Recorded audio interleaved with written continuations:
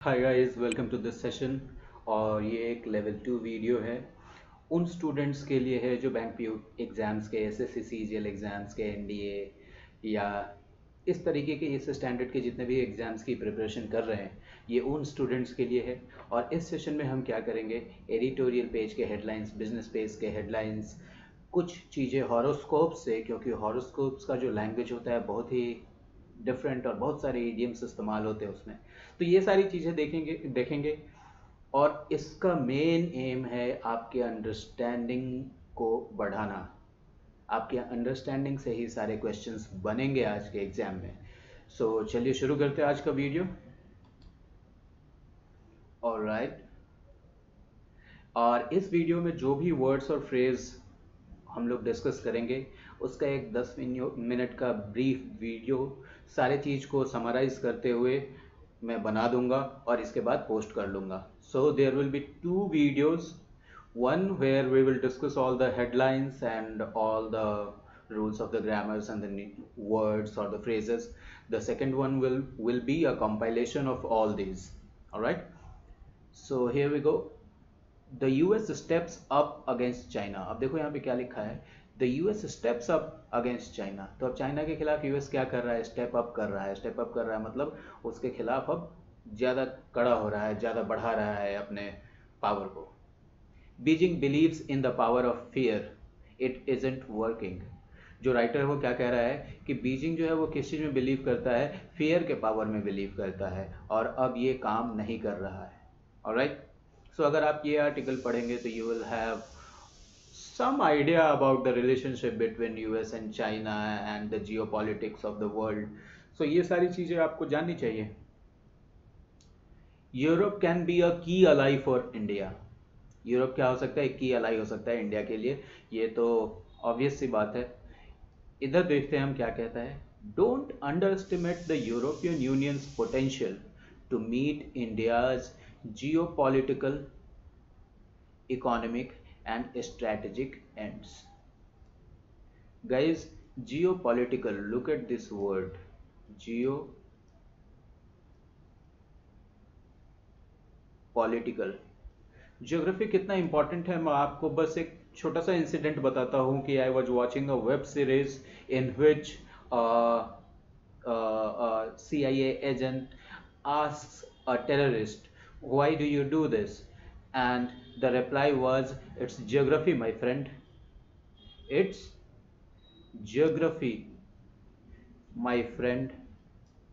और वो बताता है कि अगर वो अमेरिका में पैदा होता तो आज वो पढ़ रहा होता या कुछ और कर रहा होता और इस कंट्री में पैदा हो गया ज्योग्राफी ऐसा है। सो so, इसलिए जियो और पॉलिटिकल पॉलिटिकल जियोग्राफी की वजह से जो पॉलिटिकल इम्प्लीमेंटेशंस हो रहे हैं इम्प्लीकेशंस हो रहे हैं उसी को बोलते हैं जियो पॉलिटिकल तो इंडिया के जियो पॉलिटिकल इकोनॉमिक और स्ट्रेटेजिक एंड्स को मतलब कि स्ट्रेटेजिक गोल्स को मीट करने में क्या है? यूरोपियन यूनियन को अंडर एस्टिमेट नहीं करना चाहिए। So that was the news और और आई होप कि आपको यूरोपियन यूनियन पता हो यूरोप के सारे कंट्रीज़ ने मिलकर क्या बनाया था। इकोनॉमी को ख्याल में रखते हुए एक यूरोपियन यूनियन बना लिया था because those countries were smaller in size so अकेले तो individually their economies was not huge one so they combine together they form the union and they named it European union so European union के जितने भी countries हैं Europe के countries हैं, उसमें कौन सा करेंसी चलता है? यूरो ओके सो इसमें राइटर यही बात कह रहा है कि do not under estimate European union can play a major role so now let me move below और यहाँ पे देखो सबसे पहले हम ये हेडलाइन देखते हैं. Adopt a new paradigm to deal with COVID 19 spread अब ये वर्ड समझ लेते हैं हम पैराडाइम बहुत ही इंपॉर्टेंट वर्ड है वेरी इंपॉर्टेंट वर्ड पैराडाइम मैं आपको लिख के दिखाता हूँ यहाँ पे. पैराडाइम पैराडाइम का मतलब होता है किसी भी चीज़ का पैटर्न, ठीक है ना? समाज में कोई चीज़ पैटर्न में होते आ रहा है तो ये एक पैराडाइम है, ठीक है? और यहाँ पे क्या है? अडॉप्ट अ न्यू पैराडाइम मान लो कि आप कहीं पे कुछ और जॉब कर रहे थे सपोज़ दैट आप आर्मी में थे, मान लो। आप आर्मी में थे, आपने आर्मी से रिटायर कर दिया रिज़ाइन कर दिया, आप टीचर बन गए। तो ये क्या है आपके लिए? एकदम पैराडाइम शिफ्ट है पैराडाइम शिफ्ट पूरा पैटर्न ही बदल गया आपको। तो यहाँ पे क्या कह रहा है? द राइटर इज़ सेइंग कि आप एक नया पैटर्न एक नया वे ऑफ़ लिविंग को अडॉप्ट करो। किस चीज़? वाई क्यों अडॉप्ट करो? To deal with COVID nineteen spread COVID nineteen के स्प्रेड से डील करने के लिए। The epidemic is out in the open कोई भी चीज़ जब आउट इन द ओपन है, जब आउट इन द ओपन है मतलब अब वो देखने लायक है, सबके सबके सामने है और पूरा फैल चुका है। एम्बार्क ऑन नेशनल सर्वियलेंस देखो यहाँ पे क्या लिखा है? एम्बार्क ऑन नेशनल सर्वेलेंस मैंने आपको बताया था कि एम्बार्क का मतलब क्या होता है? जो वर्ड है वो क्या है? E M B A R K एक ऐसी जर्नी पे, एक लंबी जर्नी पे, एक लंबी और टेडियस जर्नी पे जब आप निकलते हैं तो आप एम्बार्क करते हैं। He embarked on a new journey तो अभी आपको किस चीज़ के जर्नी पे एम्बार्क करना है? नेशनल सर्वियलेंस सारे लोग को सर्वियलेंस हो सके टेस्टिंग को एनहेंस कर सके और वलनरेबल को, जिन पे सबसे ज़्यादा असर पड़ सकता है, जो वलनरेबल हैं, जैसे इस केस में कौन वलनरेबल है? हमारे ओल्ड एज के जो सिटीजन्स हैं जो प्रेग्नेंट वीमेन हैं, जो चिल्ड्रन हैं और जिनको कोई बीमारी है, वो वलनरेबल आ गए, हो गए इस केस में तो उनको प्रोटेक्ट करो। देखा आपने कैसा लाइन लिखा है इसमें एम्बार्क का इस्तेमाल किया है वलनरेबल का इस्तेमाल किया है। Out in the open now अब देखो सिटी स्केप मतलब सिटी का व्यू सिटी स्केप मतलब सिटी का व्यू लैंडस्केप जानते हैं ना आप? लैंडस्केप ये एक मोड होता है। आपके फोटोग्राफी में भी है। तो लैंड का पूरा view don't blame dense cities अभी कुछ लोग हैं इंडिया में सिटीज़ की जो डेंसिटी है, जिस तरीके से घनी आबादी है यहाँ पे पर स्क्वायर किलोमीटर जिस तरीके से यहाँ ज़्यादा लोग रहते हैं तो लोग डेंसिटी को ब्लेम करते हैं। अगर कोई भी चीज़ फैलता है कोई बीमारी फैल जाती है तो लोग डेंसिटी को ब्लेम करते हैं because Indian cities are very dense तो यहाँ पे क्या कहता है? Do not blame dense cities they have been resilient I have told you कि रेजिलियंट का क्या मतलब होता है? एक ऐसा रेजिलियंट एक ऐसा चीज़ होता है जो तमाम मुसीबतों के बाद भी किसी भी तरह सस्टेन कर लेता है अपने आप को। उसी को बोलते हैं हम रेजिलियंट ओके और जो वर्ड है रेजिलियंस तो रेजिलियंस क्या हो गया? आपके अंदर वो जो क्वालिटी है, उसका नाम है रेजिलियंस और आप कैसे होते हैं? रेजिलियंट होते हैं तो एडजेक्टिव हो गया। तो इसमें बोल रहा है, जो राइटर इज़ सेइंग कि जो इंडियन सिटीज़ हैं, जो डेंस सिटीज़ हैं, वो रेजिलियंट रही हैं। आप देखो किसी भी चीज़ से वो इतनी जल्दी हार नहीं मानती है। ठीक है ना? और कोरोना के केस में भी हमने देखा है, धारावी में स्प्रेड हुआ था but they controlled it and आज के डेट में धारावी का मॉडल फॉलो किया जा रहा है बहुत सारे जगहों पे। अब यहाँ पे क्या बोलता है the writer is saying it's not density but socio economic factors socio economic factors कैसे फैक्टर्स जो सोसाइटी के फैक्टर हैं और इकोनॉमी के भी फैक्टर हैं। ओके? मान लो कोई अगर पुअर है तो ये इकोनॉमी का फैक्टर हो गया, ठीक है ना? और मान लो बहुत सारी कास्ट की बातें हैं और क्लास की बातें हैं तो ये सोसाइटी का वो हो गया। और ये दोनों मिला के ही प्रॉब्लम्स है। तो सोशियो इकोनॉमिक फैक्टर्स स्टेट का कैपेसिटी इस पर भी डिपेंड करता है। स्टेट के कैपेसिटी पे and lack of experience which explain case load which explain case load मतलब यही तीनों फैक्टर्स जो है केस केस लोड को एक्सप्लेन कर रहे हैं। इन्हीं तीनों की वजह से केस लोड बढ़ रहा है। केस लोड क्यों बढ़ रहा है? इस क्वेश्चन को कौन एक्सप्लेन कर रहा है? This three factors alright so, let me move down. Let me look at this headline. And guys, please leave your suggestions, your feedback and your demands आप और क्या चाहते हैं? ऐसी वीडियोस में और क्या चाहते हैं? Do you want practice sessions antonyms synonyms just leave your comments in the comment box and I will make a video on, on that topic. In government schools, focus on quality. The enrollment battle is over. Investment in teacher training and learning quality. Invest in. In government schools focus on quality देखो अब क्या बोल रहा है जो writer है कि government schools में जो एजुकेशन दे रहे हैं आप उसके क्वालिटी पे फोकस कीजिए और क्या बोल रहा है एक बैटल जो है वो अब ओवर हो चुका है कैसा बैटल एनरोलमेंट बैटल गाइज़ आज से अगर आप कुछ साल पहले देखो 20 साल या 10 साल पहले तो सरकारी स्कूल्स में बच्चे जा ही नहीं रहे थे। तो अभी क्या है, उनको एनरोल कर लिया गया है। अब इतनी सारी स्कीम्स निकाली सरकार ने कि अब एनरोलमेंट तो हो रहा है बच्चों का, लेकिन the quality of the education is below par कैसा है quality of education below par invest in teacher training teacher training में इन्वेस्ट करने का सजेशन मिल रहा है। और क्वालिटी लर्निंग में इन्वेस्ट करने का सजेशन मिल रहा है।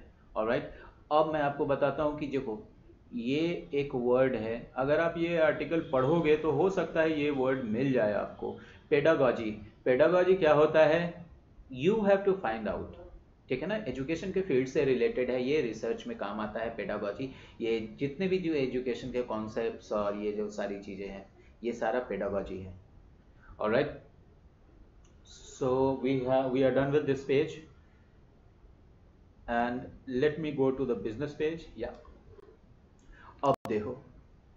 एक पैनल बना है और वो पैनल क्या कह रहा है? The panel favours sharing of data to spur innovation innovation आपको पता है। और पैनल जो है डेटा शेयरिंग को फेवर कर रहा है किस लिए? इनोवेशन को स्पर करने के लिए। अब कोई भी पैनल जो है, वो इनोवेशन तो एक अच्छी चीज़ है, इसको बढ़ाना चाहेगा या घटाना चाहेगा। ऑब्वियसली इसको बढ़ाएँगे। तो इसका मतलब कि स्पर का मतलब क्या हो गया? किसी भी चीज़ को इंक्रीज करना। So you have got a word आपको इसका मतलब भी कहीं नहीं देखना पड़ा। You have just applied your common sense and you have got the meaning of this word okay okay? और गाइस डेटा पे आजकल बहुत सारी बातें चल रही है। मैं डेटा के लिए आपको कुछ बताता हूँ कि data this is considered the new oil अभी के डेट में ऑयल का जितना वैल्यू है अभी डेटा का नया ऑयल बोला जा रहा है इसको। सो so, आप समझ लो कि आपका डेटा कितना इंपॉर्टेंट है।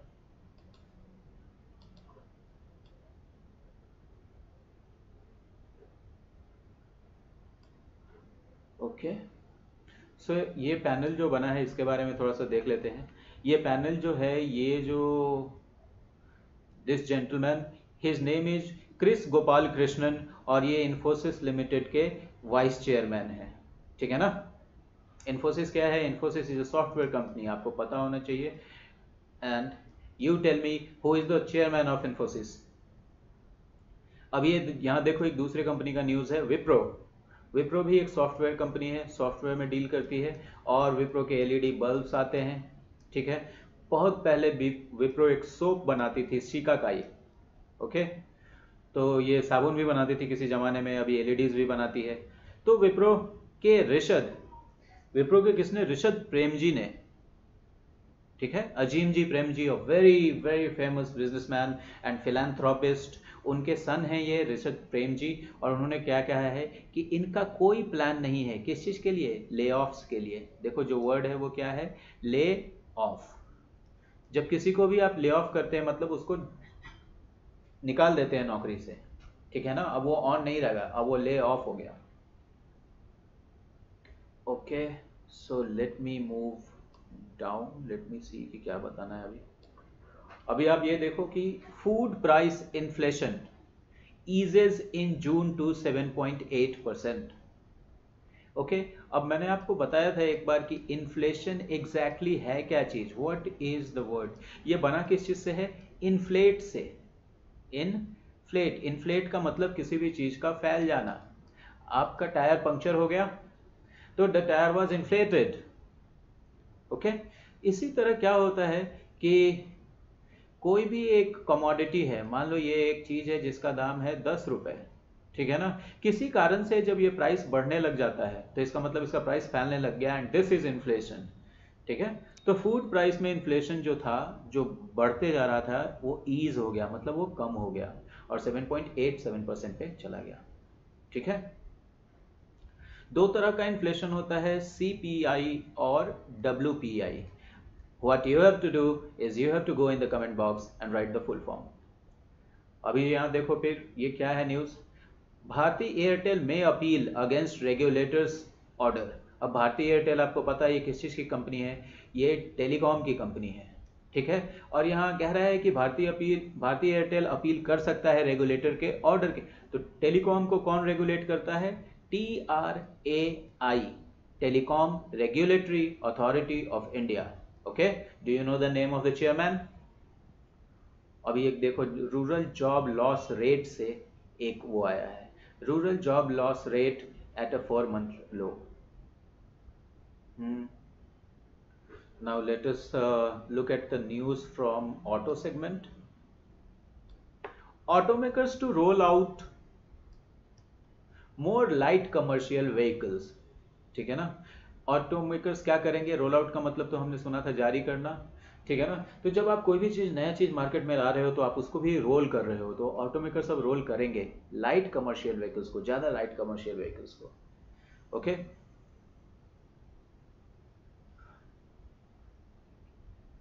yes bank says FBO to fuel growth for next two years yes bank ने एफबीओ को सेज एफपीओ मतलब ये एफपीओ को चुन रहे हैं किस चीज़ के लिए? ग्रोथ को नेक्स्ट टू इयर्स में फ्यूल करने के लिए। आप समझ गए? ग्रोथ को बढ़ाने के लिए। और राइट अब देखो यहाँ पे क्या लिखा है? Amazon shopping cart to detect what you are buying अब ये देखो, ये है इनोवेशन इनोवेशन का एग्ज़ाम्पल देखो आप। कि अब आप Amazon का जो, आप अगर स्टोर में जाते हैं Amazon के स्टोर में तो ऐसा कार्ट है you will put all the things and you will automatic it will automatically uh, generate the bill and it will deduct it from your Amazon account it आपको किसी को पैसे देने की ज़रूरत ही नहीं है। आप बस सामान डालो और बाहर निकलते समय आपका अमाउंट डिडक्ट हो जाएगा अमेजन के आपके अकाउंट से। Smart retail right now let me move to the horoscope section horoscope section आपको कैसा लग रहा है? Please write it down in the comment box you guys give no feedback and I remain clueless about what what is good और what is not working okay so as usual I will go ahead and I will enlarge it just give me moment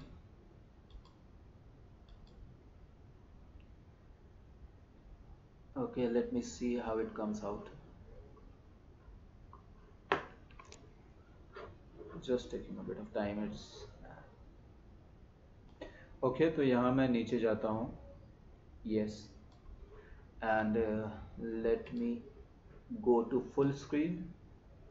Alright so here we have यहाँ भी आज भी हम लोग क्या करेंगे? तीन हॉरोस्कोप को डिस्कस करेंगे। और देखेंगे कि इसमें से क्या एडियम्स फ्रेजेस और वर्ड्स निकाल सकते हैं। And guys please leave your comments about the horoscope section specially okay this is a section which I feel is the most important one. Although आपको GA और current affairs का इसमें कुछ नहीं मिलता है but you can improve your English by leaps and bounds. Good handling of tax matters. First we will read this.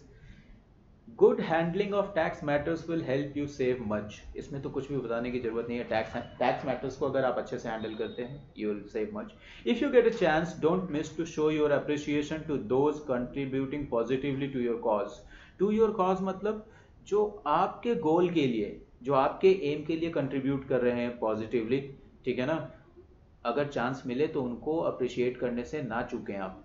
You may put in extra efforts on the exercise front just to keep just to keep fit. Those negotiating with a builder will do well to go through the agreement with a fine toothed comb. यहाँ मैं तुम्हें दो चीज़ें बताता हूँ। Those negotiating with a builder जो builder के साथ नेगोशिएट कर रहे हैं, देख रहे हैं आप जो मोल भाव कर रहे हैं विल डू वेल अब मोल भाव थोड़ा छोटा हो गया।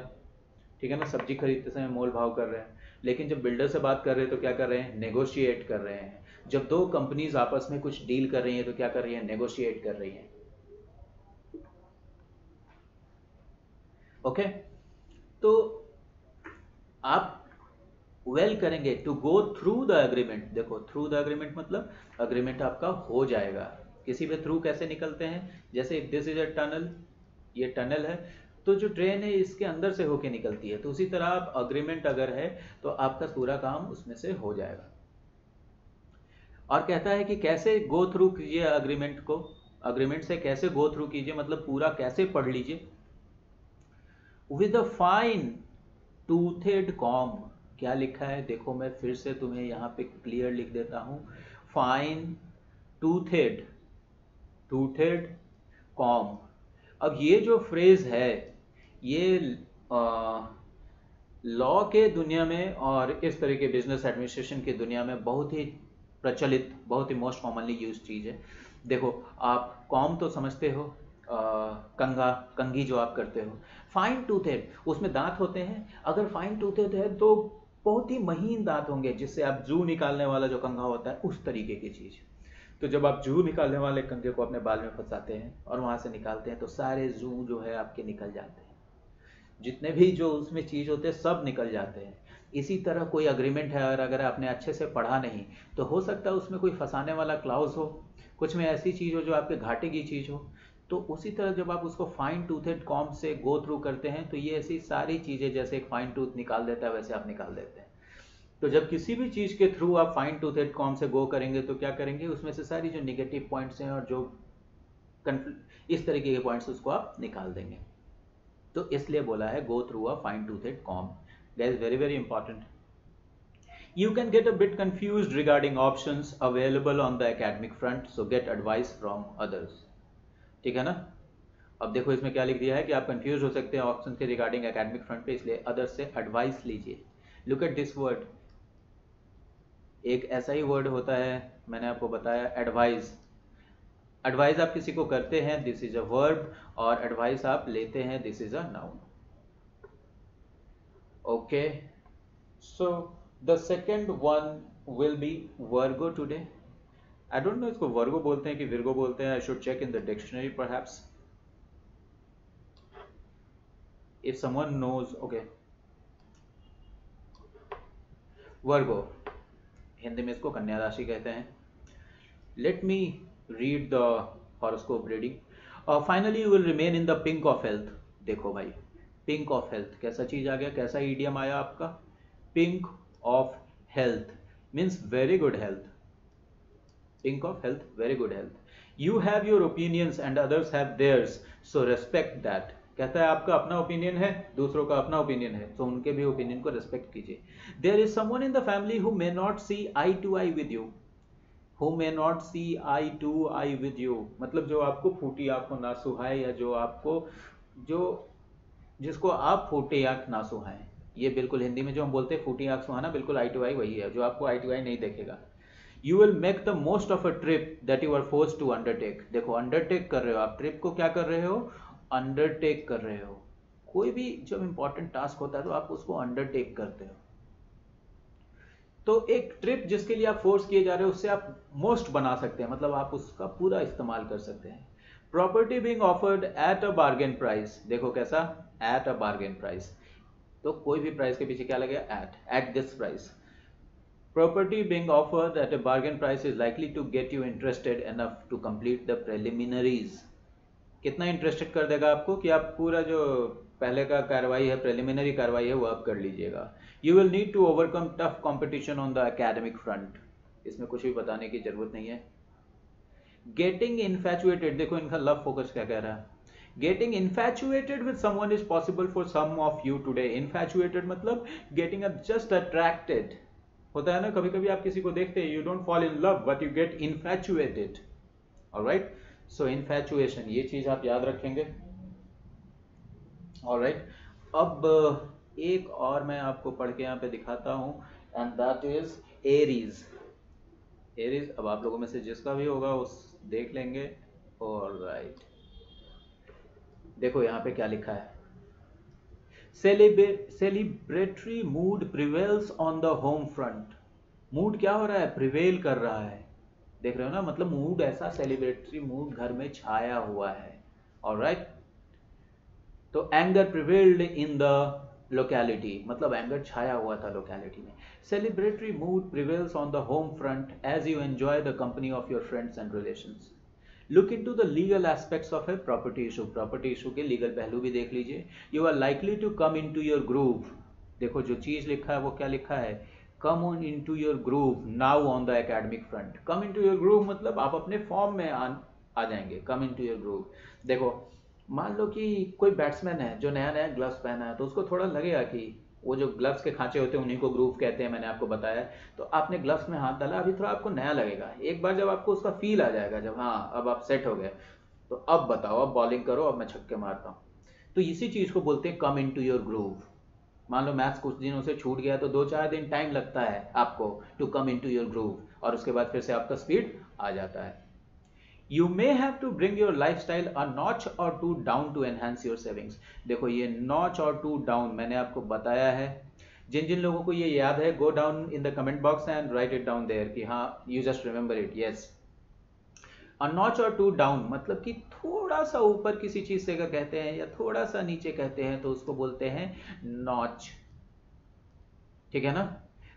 अब इसको एग्ज़ाम्पल कैसे बोलेंगे? Kohli is a notch above the rest मतलब बाकी जो बैट्समैन है, कोहली उनसे थोड़ा सा अच्छा है मतलब थोड़ा ऊपर है।